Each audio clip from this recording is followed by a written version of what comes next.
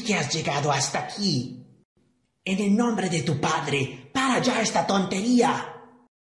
No mientras esté vivo. Entonces, por el maestro, esta noche me daré un festín con tu alma.